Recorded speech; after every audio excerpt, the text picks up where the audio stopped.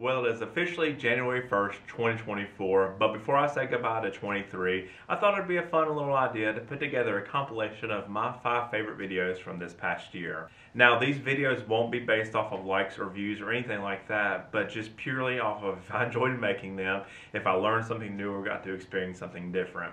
Now, before I get started, I just want to say thank y'all because 2023 was by far the best year I've ever had on the channel and, and actually my work as well.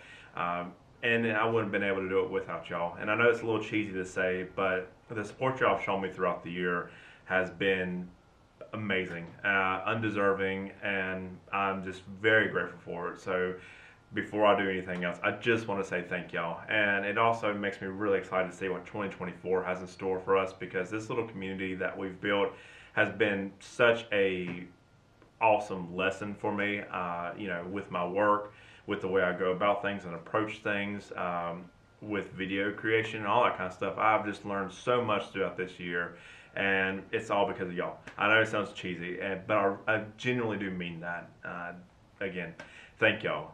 So, with all that said, here are my five favorite videos from 2023, and I hope y'all have a wonderful new year.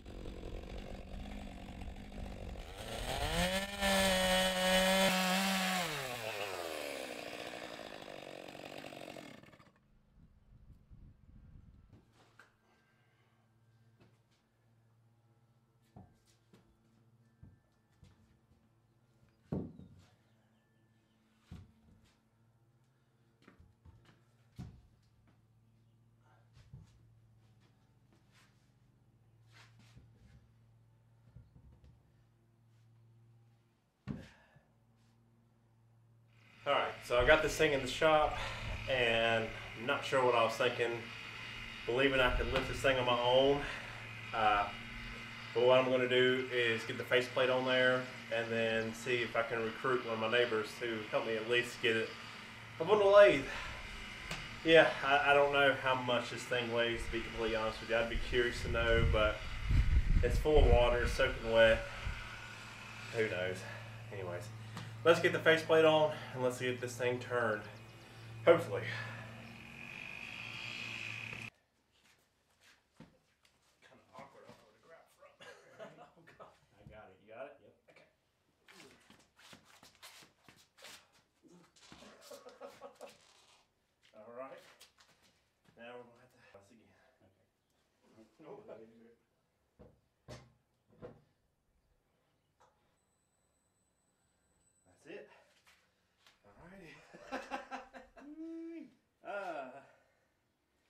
trim it up a little bit with the chainsaw, but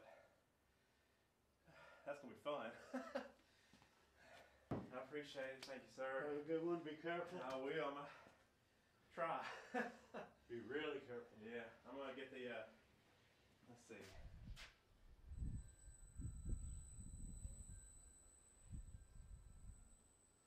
All right.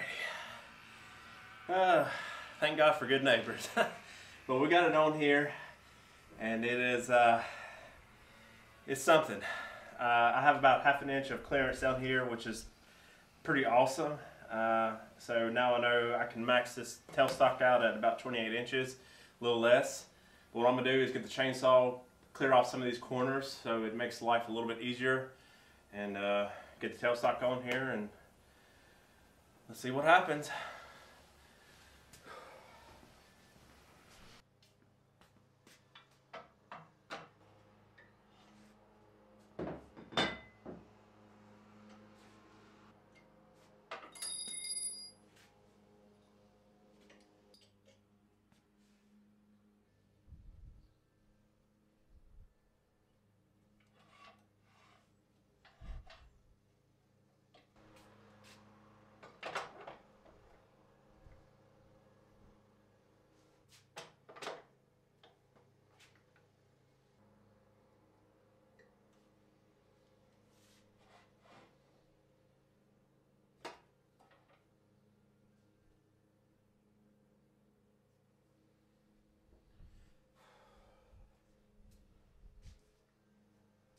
So I turned it on and the tailstock here uh, started wobbling a little too more than what I was comfortable with.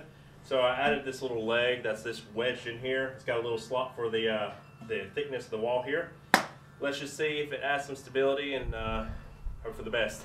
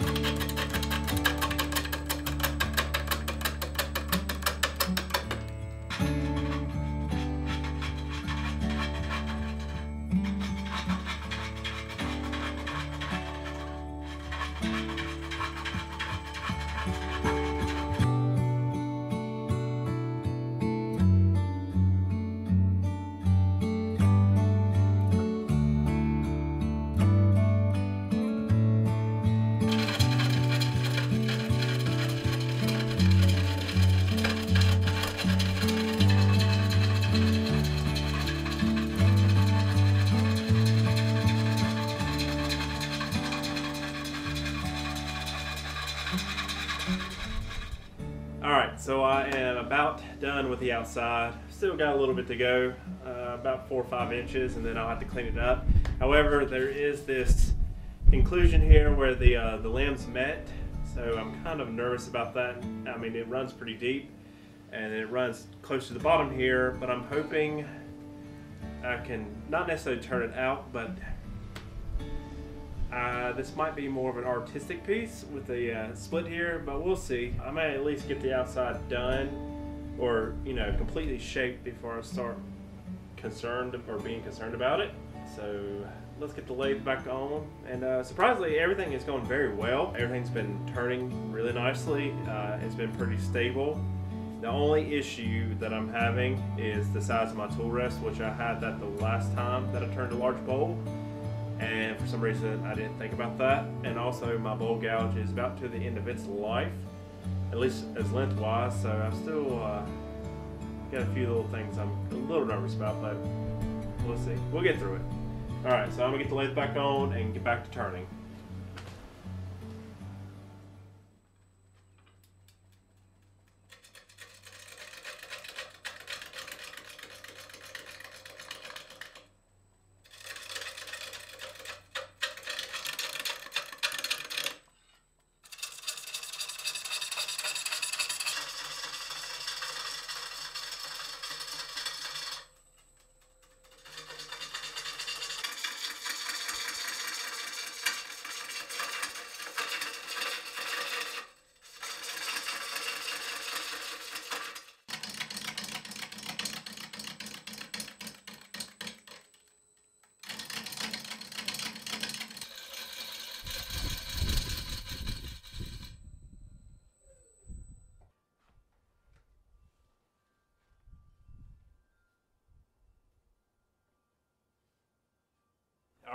So I finally got the outside rounded out.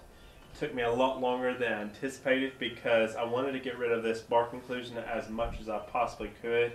And I've still got a little bit I want to get rid of, so I'll keep working at that. And also, I did run into a little bit of issue. There's a hairline crack running through here. I'm hoping that doesn't run too deep, but we will see. Also, the curved tool rest was a godsend. It really did help out. Okay, so let me get the tenon started on this and finish up the outside, and I can finally get it flipped around.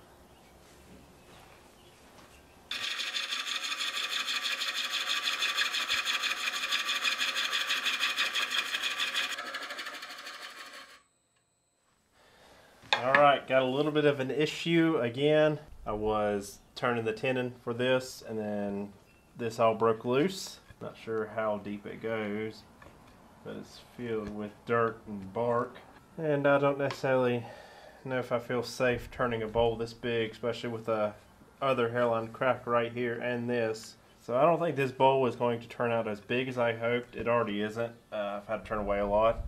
I'm gonna keep working, keep turning away, just see if I can thicken that up like the wall thickness here to where it's not so small and just see what happens. Either way, this bowl will be finished. Uh, just it's not going to be as big as I'd wanted it to be. But let's get the lathe back on and finish it up.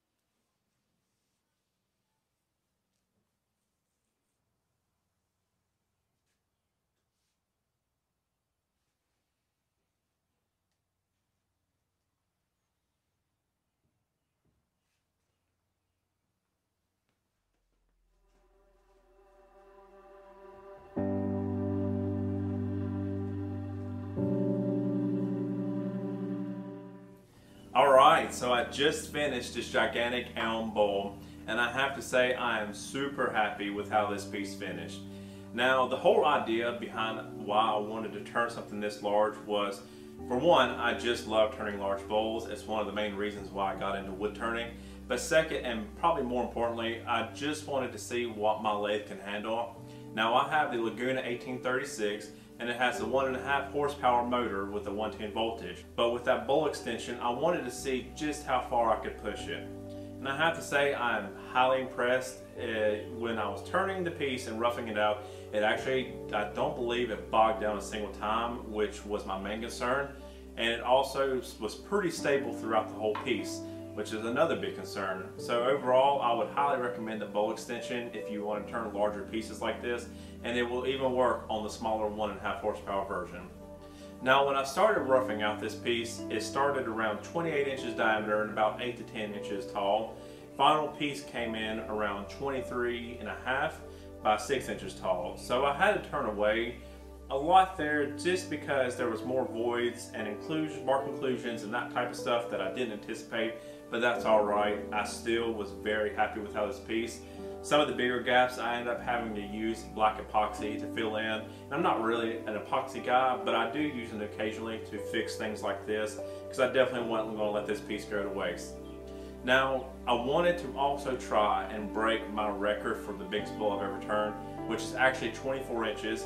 And so this piece came right in under that, and that's all right. I, I fully expected this piece to be the bigger one, but it is what it is at the end of the day. Uh, so I do have plans already to try and beat the record again, and I will be doing that within the next few weeks.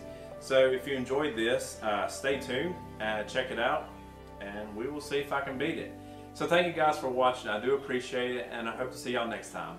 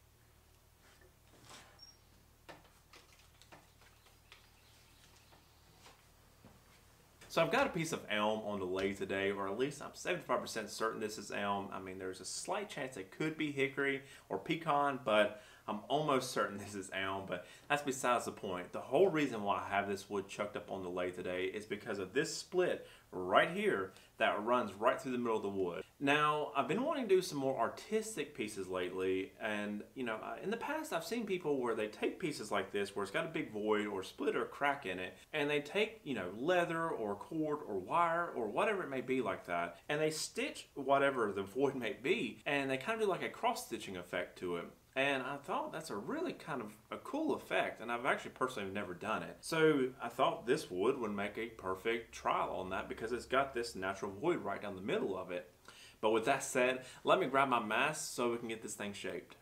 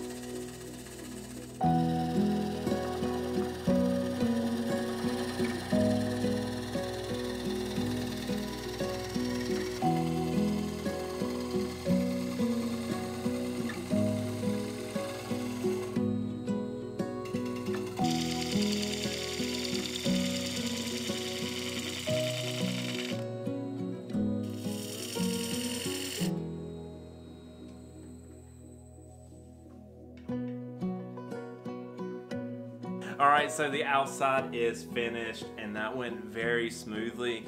I decided on the last minute there to add this little beaded detail. I actually had a miscut there and it kind of resembled the way a bead would look. And I thought, hey, I like the way that looks, so I decided to turn one in, and I'm glad I did. Uh, the voids also ended up being high up enough to where it doesn't affect the tenon down here. So when it comes to hollowing it should go just fine. And also a little bit bonus uh, on the two sides here there is this recess here where the tree just kind of curved in a little deeper than the rest. And on the other side there is this crack here that was just uh, I mean, it's a pretty big crack, and it's going to sound cheesy, but this piece is sort of about these these cracks and these voids and imperfections, and just making them a part of the piece and making them work for it. Uh, you know, just showing off the natural state of the wood. Uh, you know, it is sappy, but I do like using these types of defects and imperfections to and almost accentuate the piece in a way. Uh, but yeah, enough blabbing. Let me get my mask on and let's flip this thing around so I can get it hollowed out.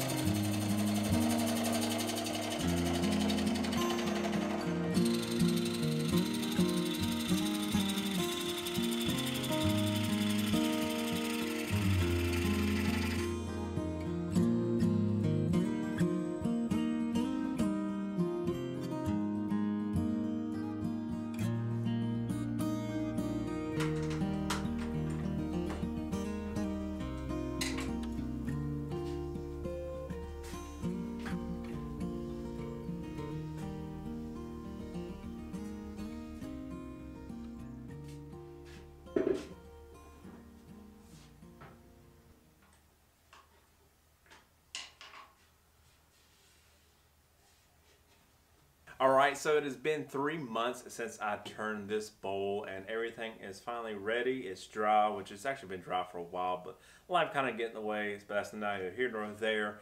Everything's ready to go. It is ready to be finished. I have my cord here. I decided to go with a leather cord. I thought between the contrast of the brown leather and the lightness of this wood with little hints of brown, I thought that would look really pretty together. And I thought just, you know, black or something like that would have been too harsh of a contrast, but I think this nice subtle brown would look really pretty with this. So my thought process though with hold this, since I've never done this before, is I want to get the bowl completely finished, uh, or at least up until 220 grit on both the inside and outside. Then what I'll do is I'll go through and plan where I'm going to drill the holes for the leather stitching and then drill the holes and then do the final sanding with 320 just in case there's any scratches I need to get out. Once I do that, I'll oil it first and then we will put the leather stitching in once it's all said and done.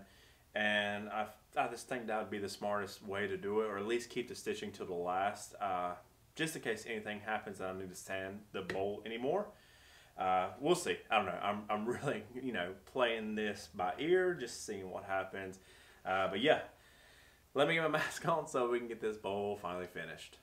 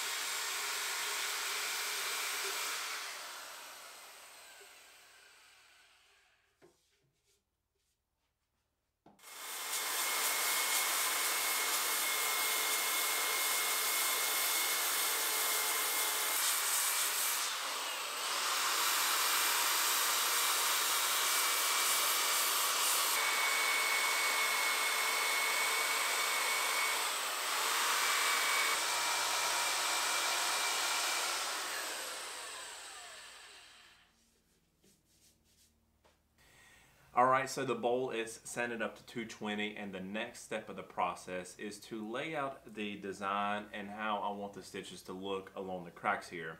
So I cut out these little templates from the cord that I'll be using. So what I'm going to do is play around with these little stitches a little bit more and figure out a layout that I want to do. And I do know I want to keep it kind of minimal and simple because I don't want to take away from this wood. Uh, I really want to keep the focus on the bowl and not so much the stitches. So I will not be going all the way down the cracks. I'll just be keeping it very small and simple. Uh, just a nice little added detail. But yeah, so let me get these laid out and once I do that, I'll check back in.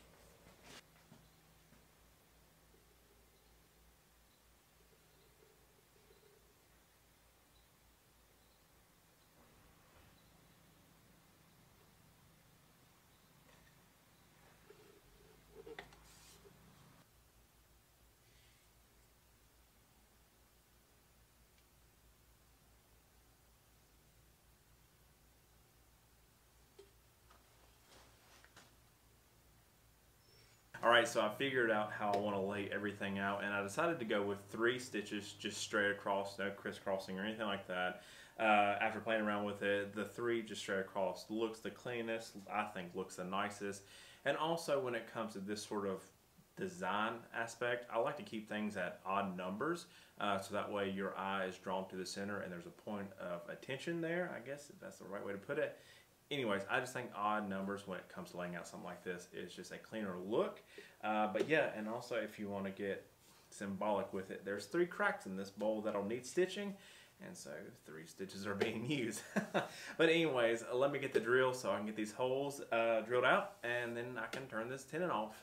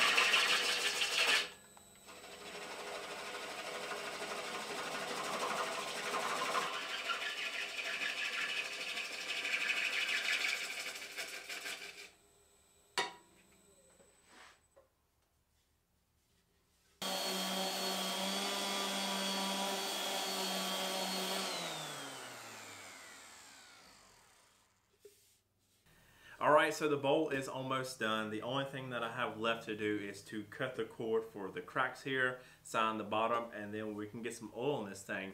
However, I do want to do a dry fit, I guess, of the stitches because I'm really curious to see what it's going to look like. Because like I said, I'm not going to fix the stitches in until the piece is oiled but I just want to know what it's going to look like. So let me get that done so we can finally call this piece finished.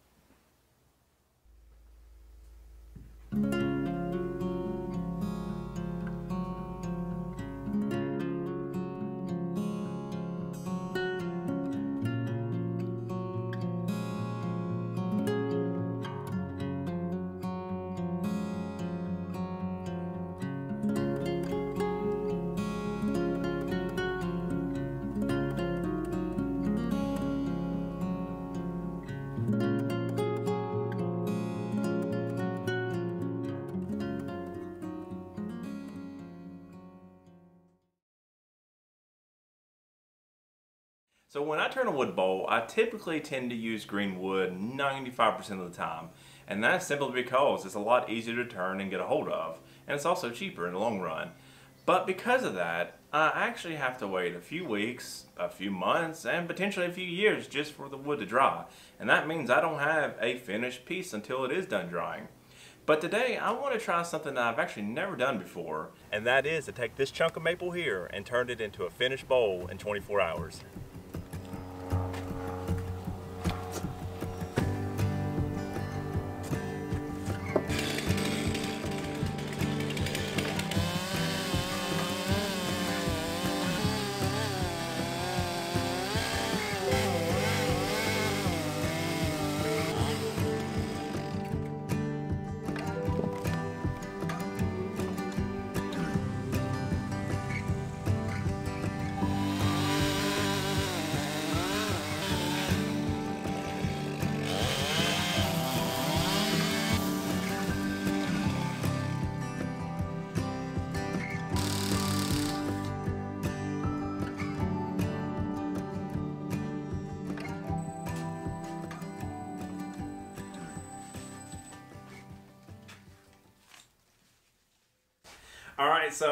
This beautiful piece of spalted maple mounted on a lathe and ready to go. And like I said, the whole goal of today is to take this piece of wood that was in log form just a few minutes ago and have it as a final bowl, like finish and all, 24 hours from when my gouge takes the first cut. Now just two things real quick. The reason why I chose this wood is because it's sort of giving me a head start as far as drying goes. Uh, it's actually been sitting in my driveway for about two to three years now. And it's by no means dry. It's still pretty wet, but it's not like if you were to take a log and turn it that was just cut down like two or three days ago and even a few weeks.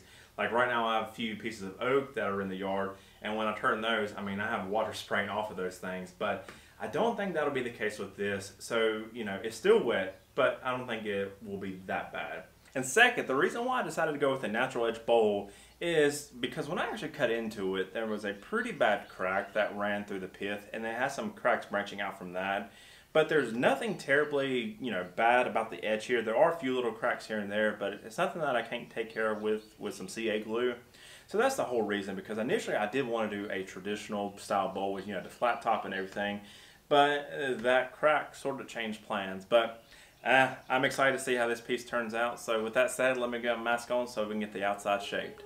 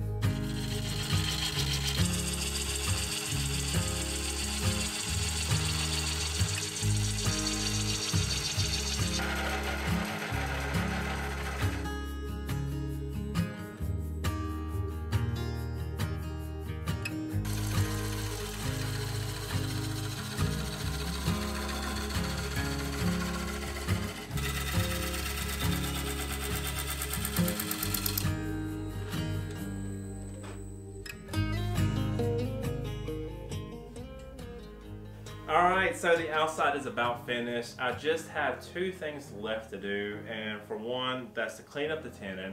And I actually already started that when I was roughing out the blank, but I need to do a little bit more finessing with it to get it finished. And then two, I decided to be a little bit extra with this piece and actually add some feet to it. Now, I haven't done that since the oak bowl that I turned a few months ago, I believe. And the, the carved feet are honestly one of my favorite little details to add to a bowl. And I'm already turning the bowl in 24 hours, so I figured why not add a little bit extra to do on top of this. Uh, but yeah, uh, everything is turning out wonderfully. This bowl or this wood is beautiful. I absolutely love the way it looks. And I believe I'm going to go in and do a little bit of sanding, maybe just 80 grit, but the actual final sanding I'll do like I normally do when I actually like use the jam chuck and everything. But I might go in and start cleaning up these tool marks just because. But anyways, let me get my mask back on so we can get all these things done and flip this thing around.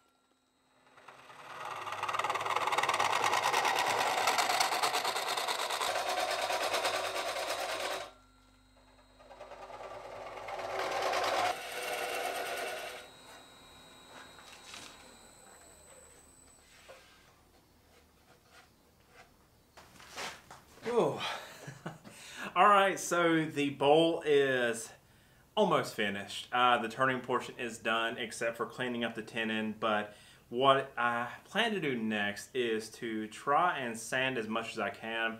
And I think I'm going to go to 220 and then kind of let the surface moisture evaporate and then come back with 320 and do my final sanding.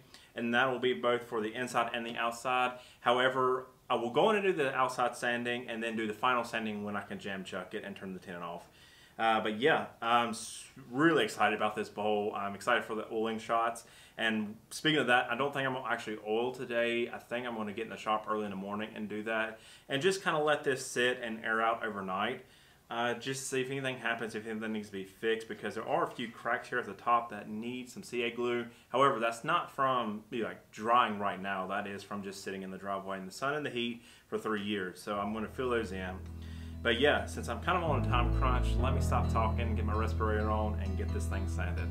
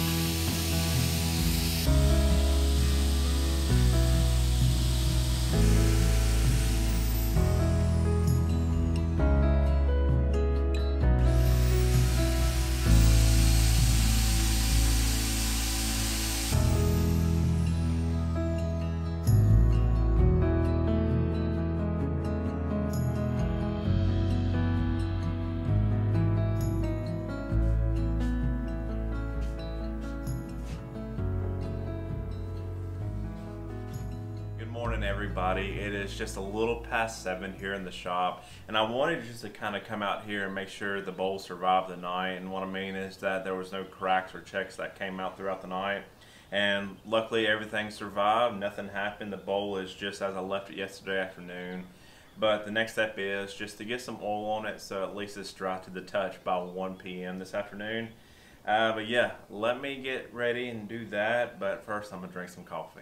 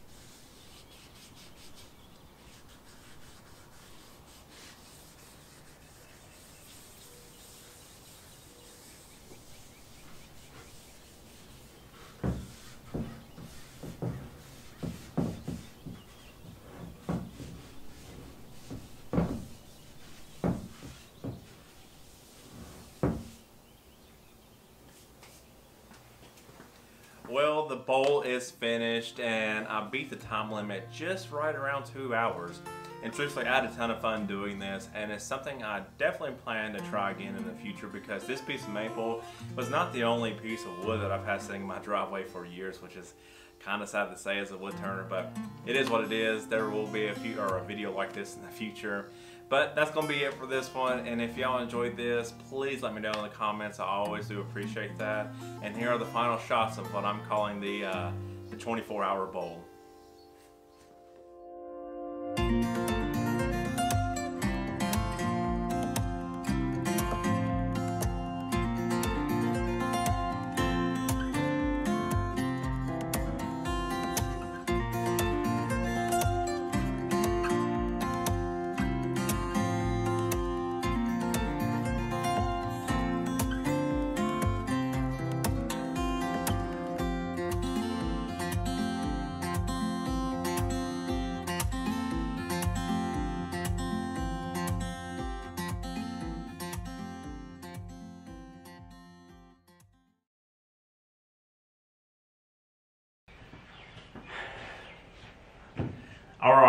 So I have something new I want to try today, and it's something I've been wanting to do for quite a while now. And whether you're new or have been following, if you see any of my past videos, you'll see that I do a lot of bowl turning and just wood turning in general. Now when I do bowls, I specifically work from logs, aka green wood. But because of that, I actually have quite a log collection laying around my yard. Now when I got started in woodworking, I actually started in shop class back in high school doing furniture. And here lately I've had an itch to want to get back into doing some furniture.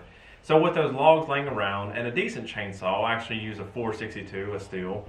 I've been wanting to try slabbing up my own slabs. so the goal today is to give that a shot. Now I've never done that before. This is my first time ever doing it, so this is not a how-to. This is more of an observation, watching me give this a shot. So let me get everything together, get this ready, and let's see if we can uh, get some slabs.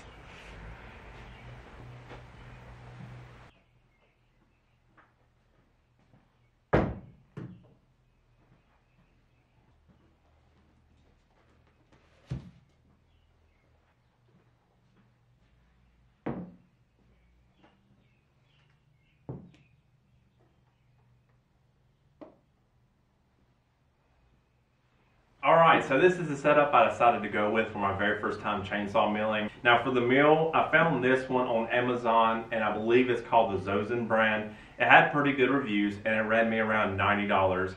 So I'm really curious to see how it will do. And from what I've read, it actually is a pretty good mill for, you know, for not so much of an investment compared to something more expensive. But I did decide to spend money where I figured it would count, and that's in the bar and chain. So I decided to go with 30 inch bar and ripping chain from Granberg, which ran me around $150. believe it was 30 to 45 for the chain and 80 to 90 dollars for the bar. So I'm excited to see how that works because I've actually never used a ripping chain even when ripping out bowl blanks from logs. So I'm, I'm curious to see how that'll do in this haul. And then I decided to go with some brackets, a 2x4 ladder setup across the top. And then for the end grain sealing, I went with the tried and true Anchorseal, which you just can't beat that. That's what they're known for. So that's what I'll be using to, uh, to try to stop the cracking. so let me get the mill and the saw, get this thing set up, and let's get some cutting done.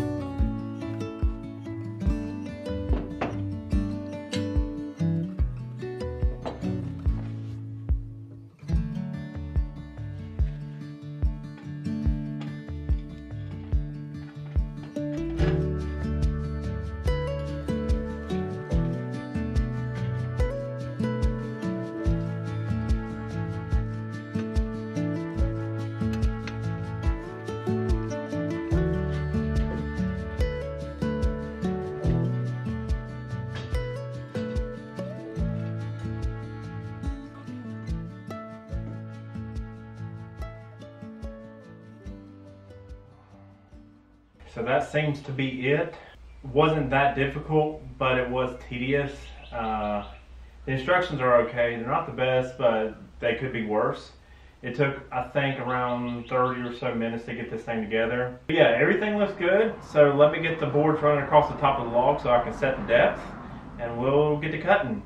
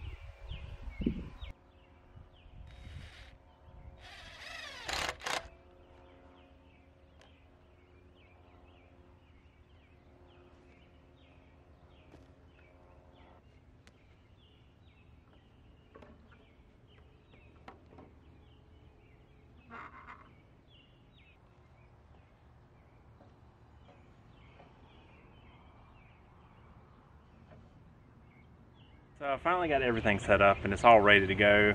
I ended up wanting to saw this maple here. It's about three and a half feet long, 18 inches at its widest, maybe 20. And it's got some really pretty spalting that seems to run throughout the woods. I'm very curious about this. But uh, I figured something this small would be good to start with. But anyways, let me get the saw started up and uh, we'll see how it goes.